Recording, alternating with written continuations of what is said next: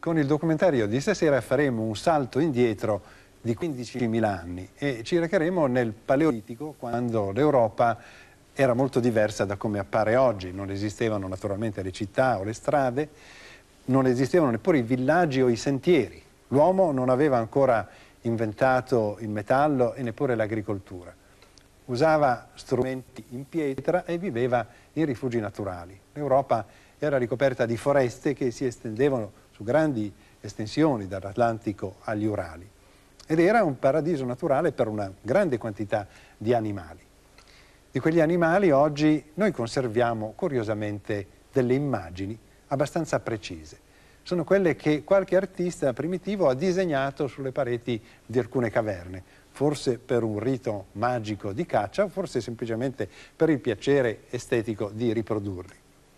I cambiamenti di clima, l'abbattimento sempre più rapido delle foreste, la caccia intensiva, oltre all'espansione umana degli insediamenti, hanno fatto sì che quel mare di alberi, di animali, si prosciugasse. Tutto è scomparso quasi. Rimane, per così dire, una piccola pozzanghera di foresta primitiva che ancora resiste e forse verrà salvata. Si trova ai confini della Polonia con la Russia. Visitando quella zona, grazie al documentario dell'Anglia che tra poco vedremo, potremo rivedere paesaggi che oggi non esistono più altrove. Potremo avvicinare anche gli ultimi bisonti che ancora vivono allo stato naturale, gli stessi bisonti che l'uomo del Paleolitico aveva forse disegnato sulle pareti delle sue caverne. La storia che il documentario racconta è proprio quella de, del bisonte europeo, che ce l'ha fatta per un pelo a sopravvivere anche dopo le carneficine delle ultime due guerre, durante le quali è servito per le salmerie di interi eserciti di passaggio. Un animale che, contrariamente alle tigri, ai leoni agli elefanti, mai nessuno è riuscito a domare. È una massa di muscoli e carne che può caricare a 50 km l'ora e saltare ad altezze fino a 2 metri. Torniamo quindi per 45 minuti all'Europa del Paleolitico. Vediamo.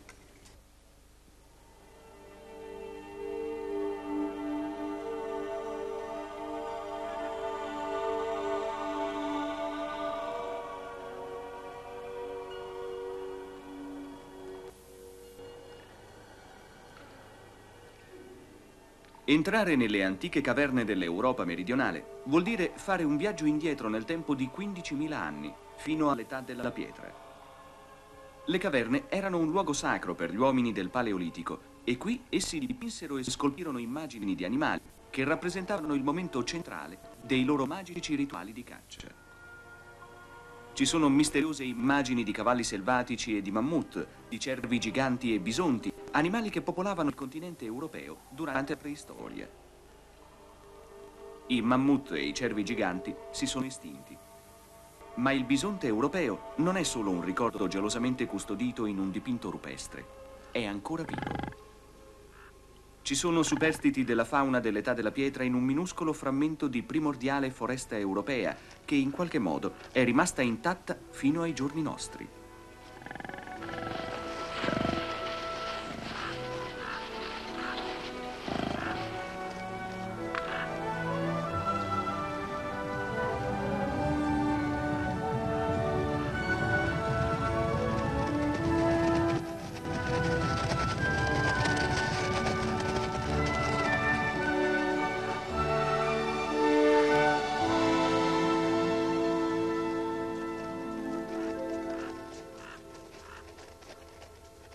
Qui si trovano i discendenti dei cavalli selvatici europei. È come se nel corso dei millenni il destino fosse ripetutamente intervenuto per salvare la foresta dalla distruzione. Solo in questo secolo è riuscita a superare le tragiche conseguenze di due guerre mondiali. Molti personaggi hanno combattuto per il suo possesso per poi consegnarla ad altre più grandi potenze. Re medioevali, gli zar della Russia imperiale, il Kaiser tedesco e il suo esercito, e il personaggio più sinistro, Hermann Göring, della Germania nazista. La storia della primordiale foresta del Bisonte è una storia di nascite, conflitti, distruzione e rinascita.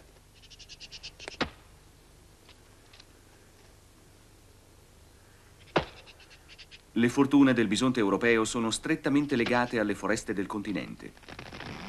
La foresta primordiale, habitat del bisonte, crebbe dopo l'ultima glaciazione in Europa circa 12.000 anni fa.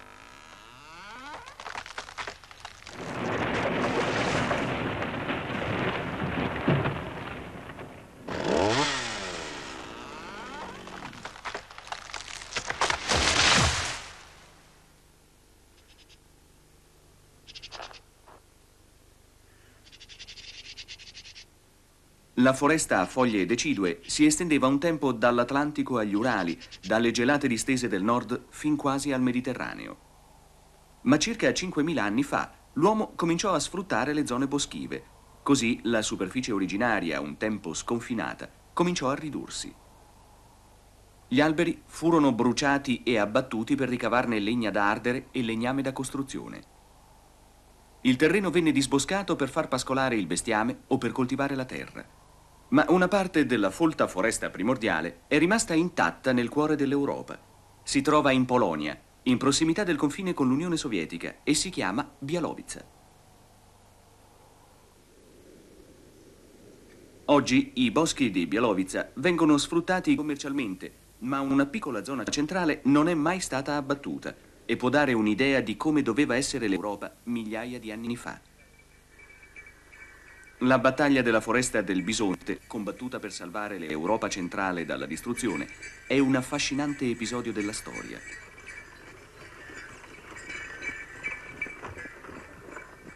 Oggi i turisti visitano il Parco Nazionale di Bialowice in Polonia a piedi o a cavallo, perché gli autoveicoli sono proibiti all'interno della riserva, in modo da ridurre il rumore e l'inquinamento.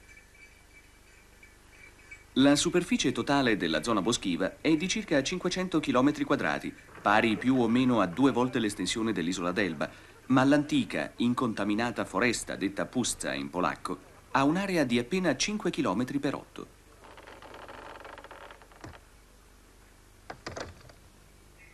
Questi alberi, che hanno 250 anni, sono alti circa 50 metri.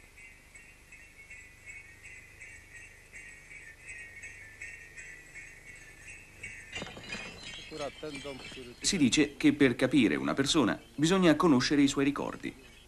Anche per capire un albero bisogna conoscere il suo passato. Questa quercia abbattuta iniziò la sua esistenza sotto forma di ghianda nel XIV secolo. Appena dieci anni fa, in seguito a una tempesta, cadde al suolo. Si chiama quercia di Jaghiello. Re Jaghiello di Polonia si accampò qui nel 1409 dopo un'epica battuta di caccia. Bialowice era la riserva privata di caccia della potente dinastia Jaghiello e la caccia al bisonte era consentita solo alla famiglia reale. I bracconieri e i taglialegna venivano giustiziati dalle guardie forestali del re. Il regime era spietato, ma proteggeva la foresta. Il re e i principi polacchi della Lituania dominarono l'Europa centrale fino al 1795, quando gli zar russi conquistarono la Polonia, impadronendosi anche di questa meravigliosa riserva di caccia.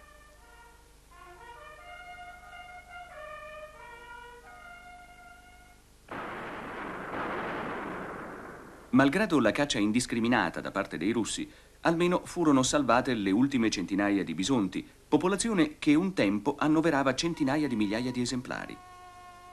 A dispetto della carneficina, questo museo preistorico vivente sopravvisse fino al XX secolo. Gli originari richiami di caccia sono arrivati fino ai nostri giorni, passando da una generazione di guardie forestali all'altra.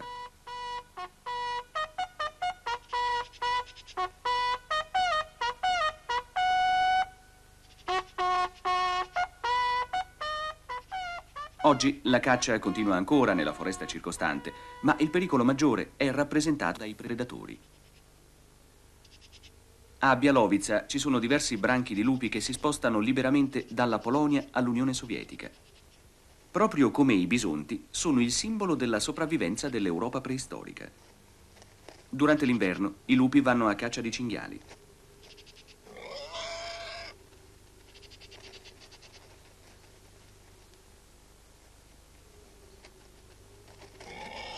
In passato lupi e uomini erano in diretta concorrenza. Per sopravvivere durante l'inverno dovevano cacciare gli stessi animali della foresta. Da allora l'uomo non sopporta i lupi e continua ancora oggi a perseguitarli.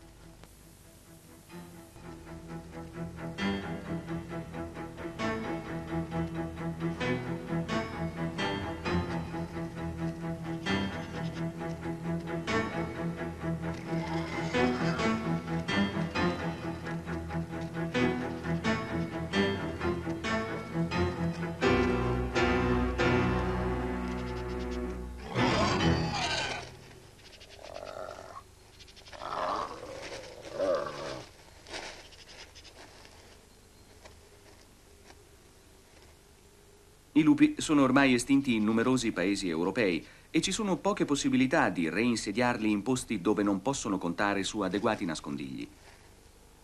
Quella che un tempo era una foresta primordiale e si estendeva dalla Bretagna a Mosca è oggi in larga misura una piatta, monotona prateria.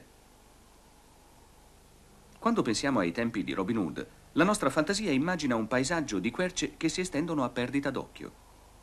Bialovica è un ricordo di quell'antica foresta, ma è ancora viva.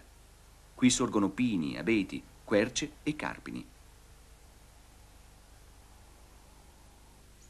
L'atmosfera della foresta sul finire della primavera è molto suggestiva.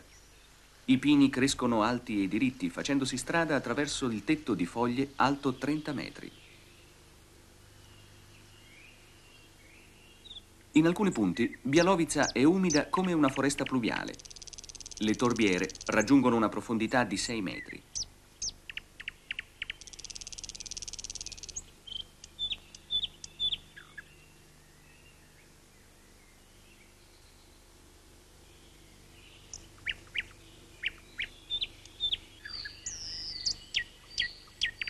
Nelle zone più asciutte spuntano fiori di aglio ursino, ma in genere ben poco cresce nella semioscurità della foresta.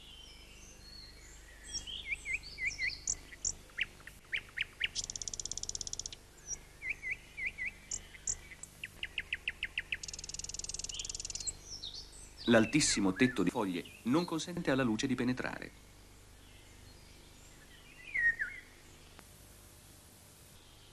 Nella foresta si ha la sensazione di trovarsi all'interno di una grande cattedrale. E come accade per le antiche costruzioni abbandonate, i pilastri finiscono per crollare. Le radici dei vecchi alberi si sollevano dal suolo poco profondo. Intorno ad esse restano dei dischi di terra. I tronchi rimangono nel punto in cui sono caduti. La morte degli alberi lascia spazio per una nuova generazione. Grazie al varco creatosi nella foresta, la luce raggiunge il terreno e così i semi possono crescere. Ma non sono molte le probabilità che essi hanno di germogliare.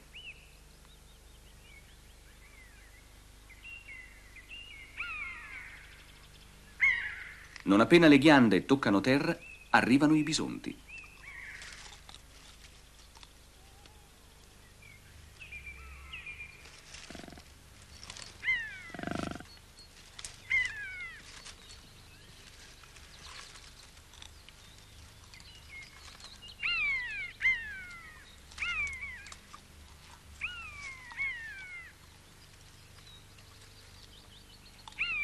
In altre parti della foresta i cinghiali mangiano le ghiande prima che esse abbiano la possibilità di crescere.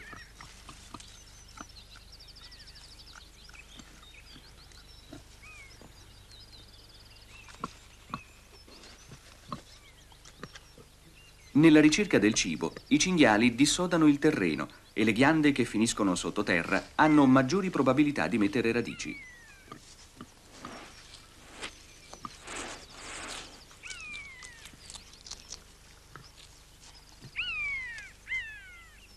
Una ghianda corre il rischio di essere mangiata sia di notte che di giorno.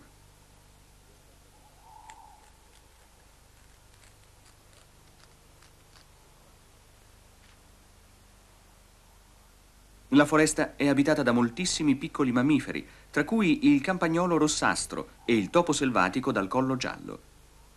A causa dei continui attacchi da parte dei topi, dei bisonti e dei cinghiali, forse solo una ghianda su mille riesce a iniziare la corsa verso il tetto della foresta.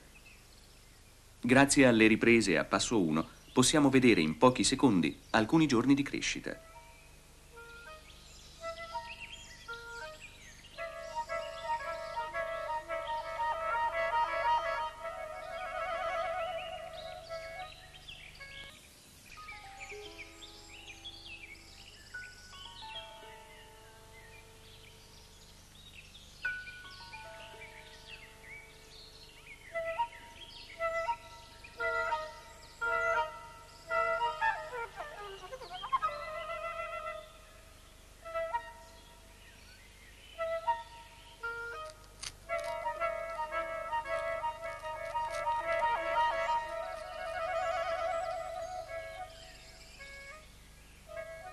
Un campagnolo dei pini manda all'aria tre settimane di crescita.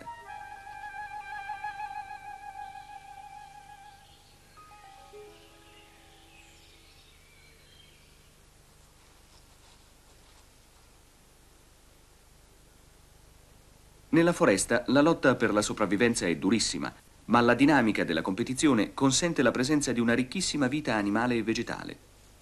Probabilmente ci sono più specie qui che in qualsiasi altro habitat europeo.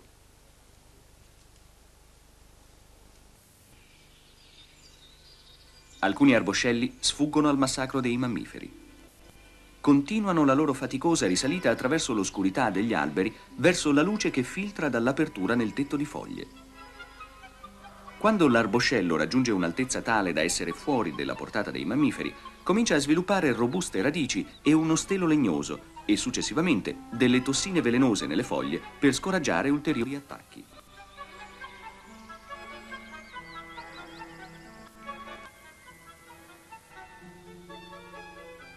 Ecco dei giovani abeti che si fanno strada verso la luce del sole, ripresi a passo 1.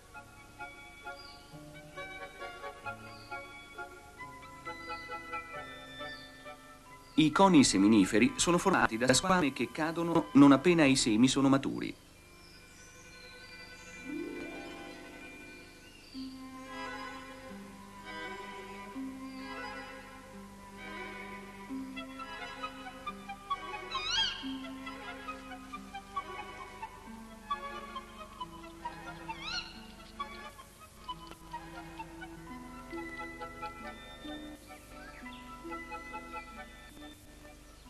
Dovunque cadano nella radura, anche sui tronchi degli alberi in decomposizione, i semi di abete affondano le radici che alla fine penetreranno nel terreno.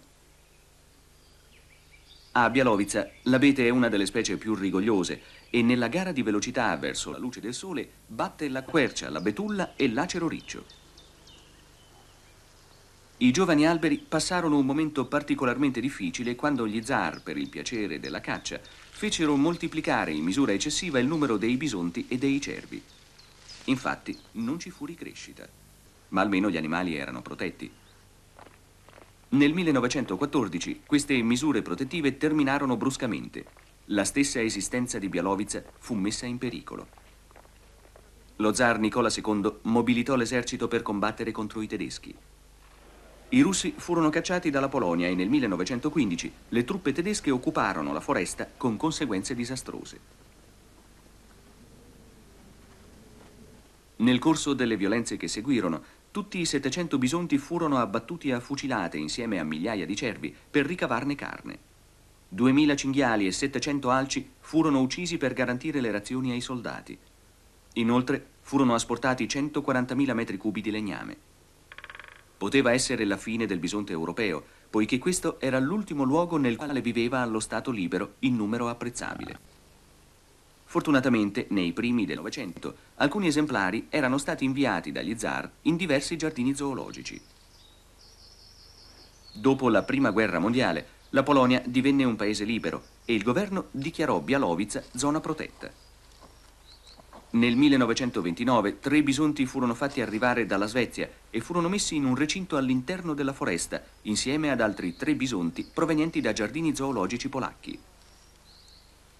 Riuscirono a riprodursi e la popolazione cominciò lentamente ad aumentare. Fu in questo periodo che gli scienziati polacchi cominciarono a studiare attentamente il bisonte che avevano salvato. Il bisonte europeo è leggermente più piccolo di quello americano, ma le sue corna sono più lunghe. I maschi raggiungono una tonnellata di peso, sono quindi tra gli animali terrestri più grandi dei rispettivi continenti. Fanno parte della famiglia dei bovini, ma non sono mai stati addomesticati. Una volta il Circo di Stato di Mosca tentò di ammaestrare un bisonte, ma senza successo. Col passare degli anni, gli scienziati polacchi hanno appreso molte cose sul comportamento sociale del bisonte un branco composto da 8-10 esemplari è generalmente guidato da una femmina scaltra e vecchia, una matriarca che domina le altre femmine e i piccoli.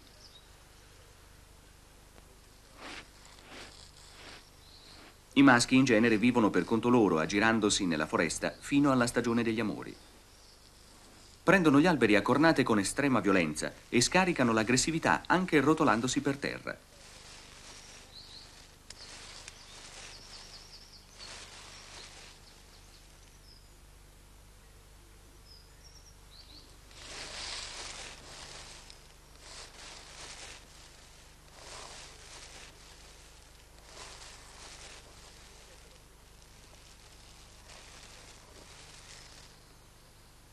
Poi i maschi si uniscono ai gruppi di femmine, aspettando pazientemente che esse vadano in calore.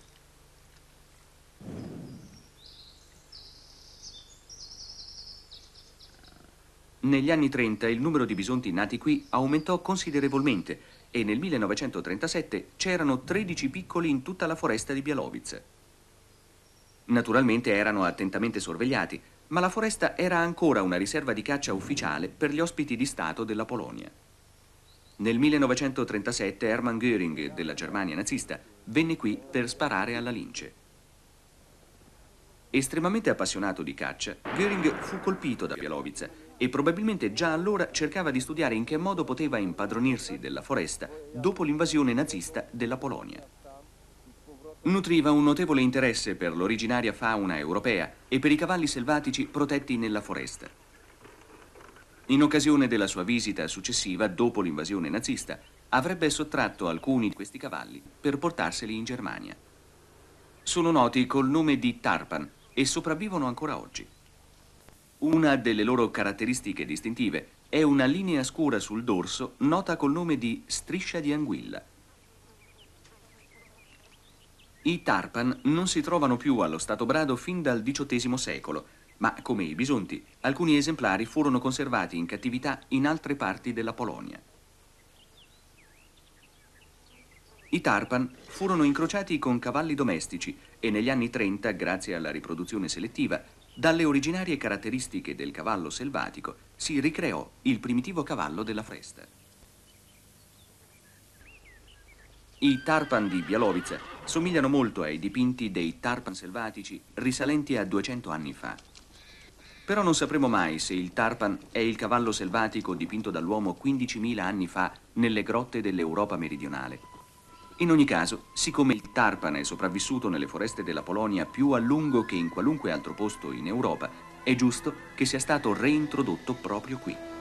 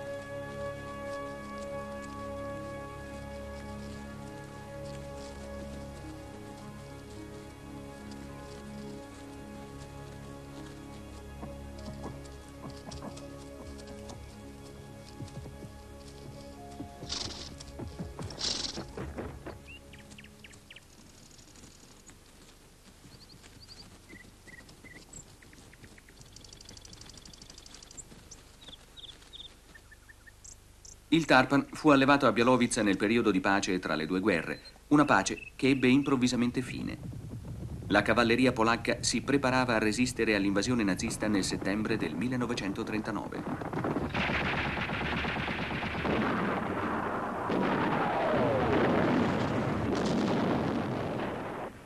I polacchi si batterono con coraggio, ma senza riuscire a rivaleggiare con gli orrori dell'aggressione nazista. Le foreste furono teatro di violenti combattimenti. Bialovica fu occupata dai nazisti.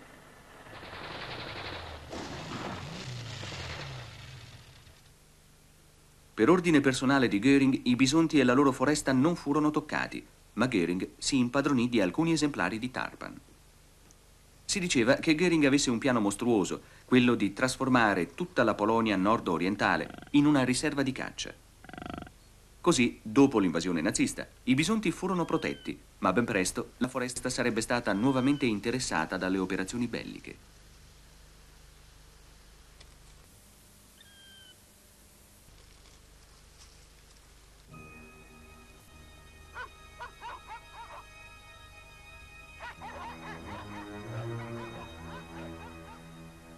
La seconda guerra mondiale portò incredibili atrocità nei villaggi polacchi della foresta di Bialowice.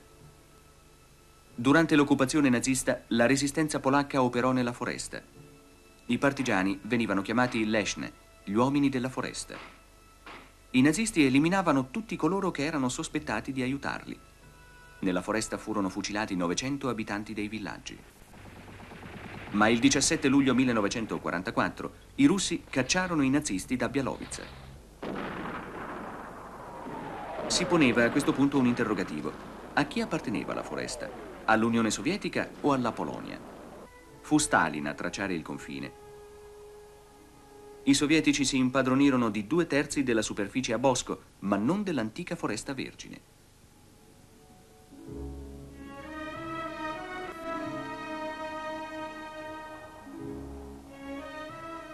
Il fiume Narevka nasce in Unione Sovietica per poi varcare il confine polacco.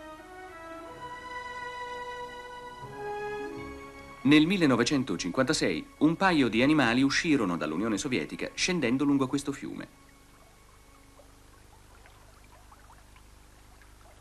La traccia della loro presenza a Bialowice in Polonia è rappresentata da queste betulle senza foglie. Gli alberi stanno morendo perché le radici sono immerse nell'acqua.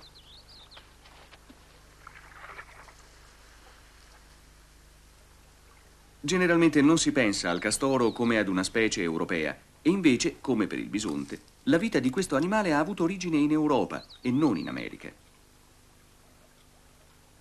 Oggi i castori non sono molto numerosi, ma all'epoca della Russia zarista erano ancora più scarsi. Nel periodo di pace successivo all'ultima guerra, i nuovi coloni hanno ottenuto eccellenti risultati e non c'è animale più indicato per prendere in esame l'ecologia della foresta attraverso le stagioni. Alla fine della primavera e durante l'estate, i castori costruiscono delle dighe nei corsi d'acqua, arrivando ad allagare una superficie di 250 ettari di terreno. Uccidono molti alberi sommergendo le radici e ancora più ne abbattono. Ma ci sono dei vantaggi per l'uomo, in quanto le dighe contribuiscono a tenere sotto controllo le inondazioni e l'erosione e a preservare la superficie freatica. Tutto questo comunque non ha nulla a che vedere con il particolare fascino del castoro. Le dighe dei castori spesso pullulano di pesci, ma i castori sono esclusivamente vegetariani, per cui la pesca è aperta ad altri. Un piccolo luccio appena pescato attira la compagna del martin pescatore. Ecco un cane procione vicino alla diga del castoro. I cani procioni sono carnivori e si nutrono di rane, pesci e uova di uccelli originari della Siberia, furono introdotti nella Russia europea come animali da pelliccia e successivamente attraversarono la frontiera come i castori. La diga circonda la tana dei castori che sorge su un'isoletta. Qui la famiglia è al sicuro e i castori possono asciugarsi dopo una nuotata.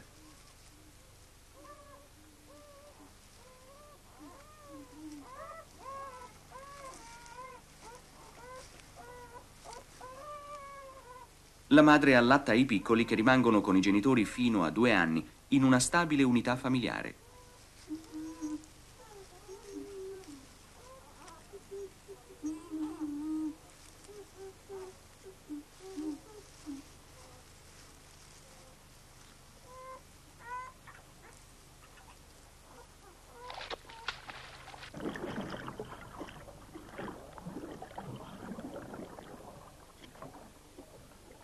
Castoro fornisce cibo a molti animali.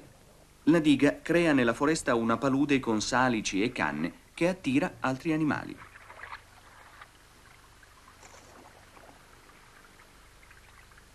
L'alce è il più grande della famiglia dei cervidi. Gli adulti hanno la taglia di un cavallo. I piccoli nascono tra aprile e i primi di giugno come il castoro, anche l'alce è una specie europea che solo successivamente si è diffusa in America, dove viene chiamato moose, una parola di origine indiana che significa mangiatore di legno. Le cicogne europee vengono nella diga del castoro per catturare le rane e per dissetarsi, ma nidificano molto lontano dalla foresta.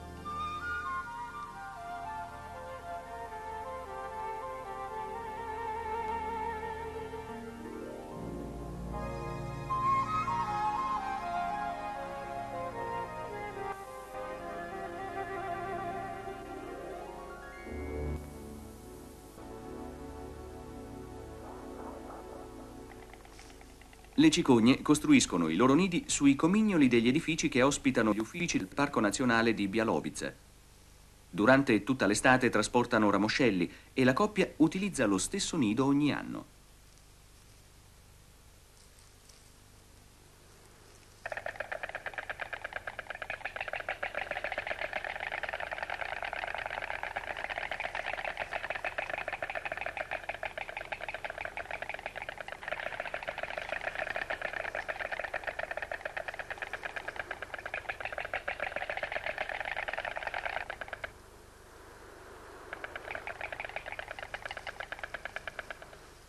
C'è un nido di cicogna su una delle costruzioni del palazzo degli zar russi. Il palazzo venne incendiato dai nazisti durante la seconda guerra mondiale, ma è rimasto questo piccolo padiglione di caccia. Attualmente ospita l'ufficio postale. D'estate le cicogne si sfamano nelle radure e talvolta nelle più vaste distese prive di alberi nella foresta. Spesso è la diga di un castoro che crea uno spazio aperto come questo. Una volta abbattuti gli alberi, i castori si spostano. La foresta potrebbe chiudersi di nuovo, ma la cosa è resa impossibile dal sopraggiungere degli alci, dei cervi nobili e dei bisonti. Anche i cinghiali amano queste radure. Mangiano quasi tutto quello che riescono a trovare sul terreno. E ora è possibile trovare qualcosa da mangiare più qui che nel folto della foresta.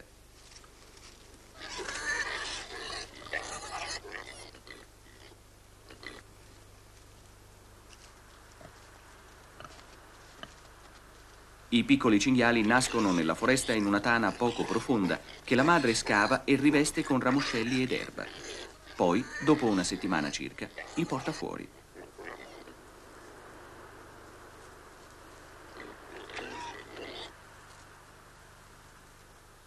I cinghiali mangiano di tutto, dai tartufi alla carne in putrefazione. In questo caso c'è qualcosa nel terreno sotto il tronco. Probabilmente una tana di campagnolo rossastro o forse di insetti.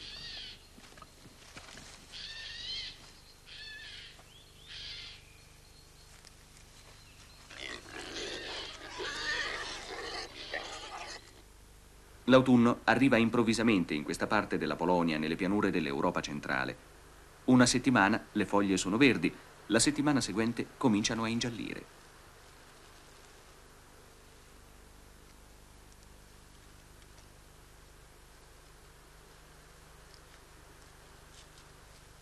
Per i bisonti la stagione degli amori sta per finire. I grossi maschi seguono i gruppi di femmine con una grazia insospettata in un animale che pesa una tonnellata.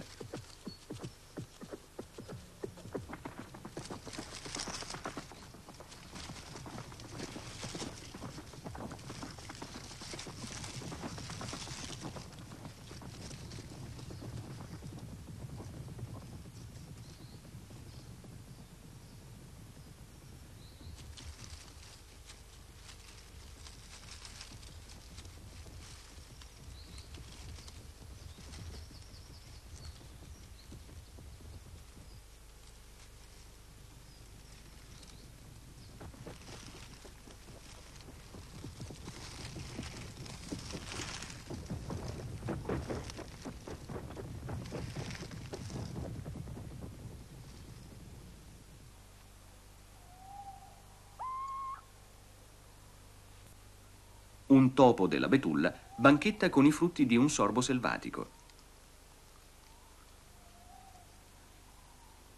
Essendo un animale esclusivamente notturno, il topo della betulla si vede raramente a Bialovice. Uno dei suoi numerosi, graziosi attributi è costituito da una coda prensile robustissima che utilizza come quinto arto.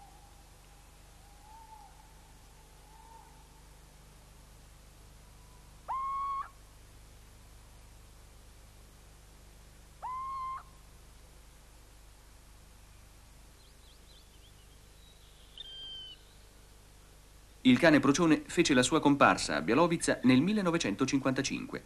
Era il primo importante nuovo mammifero dopo circa 5.000 anni.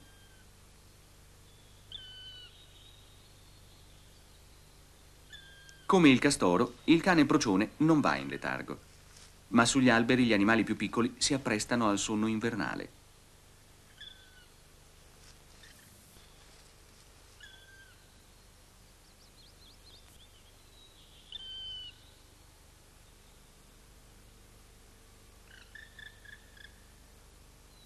All'interno di un tronco spezzato, un topo della betulla si appisola di tanto in tanto. Andrà in letargo sprofondando in uno stato di torpore quando la temperatura scenderà sotto i 5 gradi. Nel cuore dell'inverno la temperatura esterna toccherà i 40 gradi sotto zero.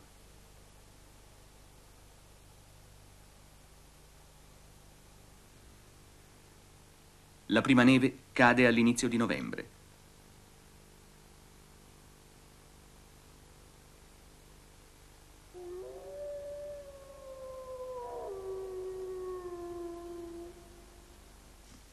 Gli alberi d'alto fusto garantiscono un riparo dal vento che soffia dalla lontana Siberia. Anche il cervo nobile durante l'inverno si ciba per lo più di corteccia d'albero e arboscelli.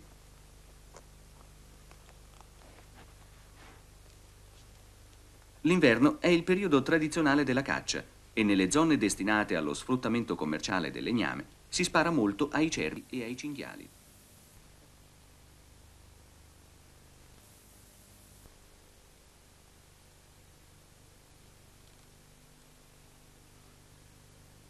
Attualmente a Bialovice i bisonti sono circa 250. Come i cervi, durante l'inverno sopravvivono mangiando corteccia e ramoscelli.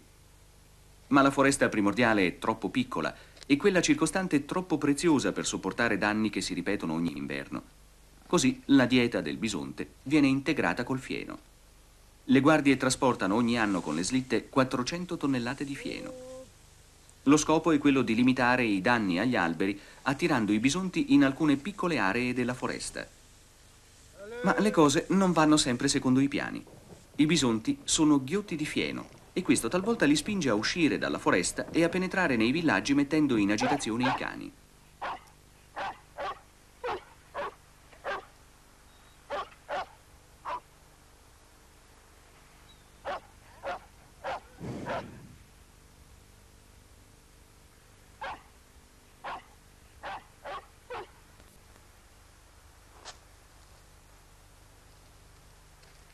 Il cane si dà alla fuga. Il grande bisonte sembra anche lui piuttosto nervoso.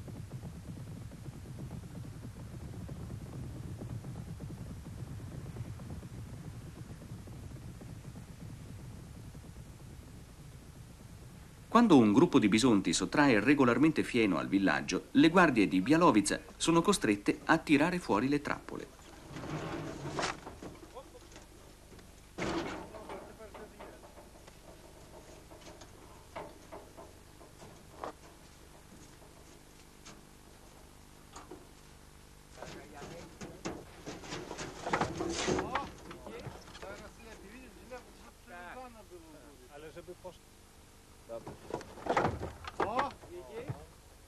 La trappola viene collaudata e l'esca sistemata.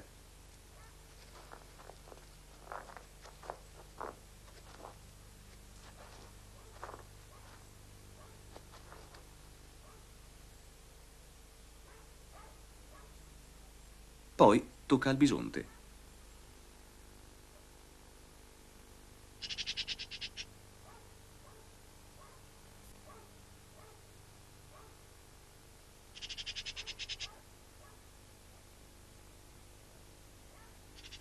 La traccia di fieno fa correre anche il cervo nobile.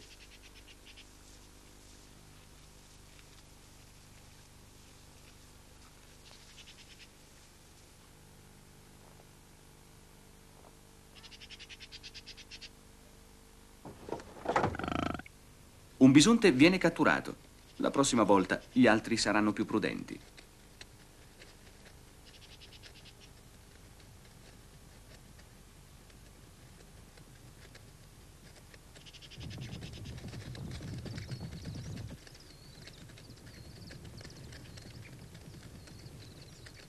Quando i bisonti vengono finalmente presi in trappola, sono trasferiti in un luogo distante della foresta.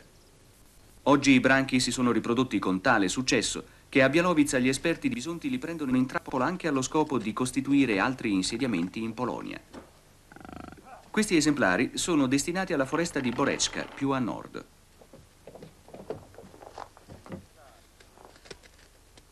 Non si scherza con un bisonte maschio. Può caricare a una velocità superiore ai 45 km orari.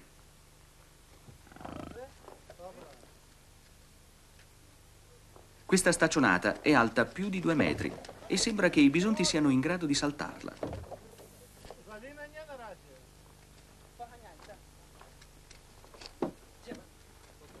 I bisonti vengono messi in gabbia sotto lo sguardo vigile del responsabile.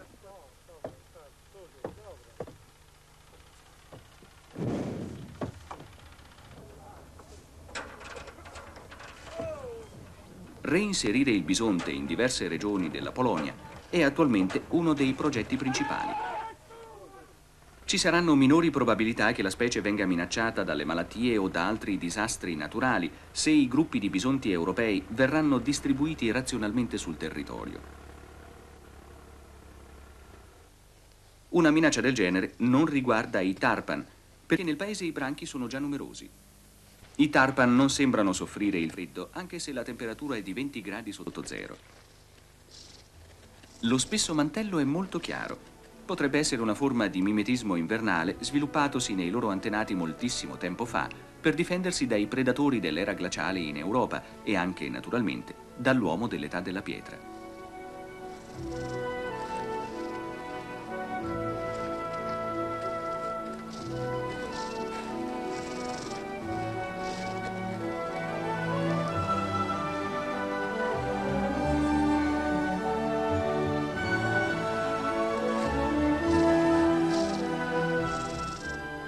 L'antica foresta di Bialowice è considerata in tutto il mondo un metro per misurare l'impatto dell'uomo sulle foreste europee. Può darsi che sia solo un frammento del nostro primordiale passato, ma è ancora abbastanza grande per offrire protezione ad animali come il lupo e il bisonte, che altrimenti oggi esisterebbero solo nei dipinti eseguiti dai nostri antenati nelle grotte preistoriche dell'Europa meridionale.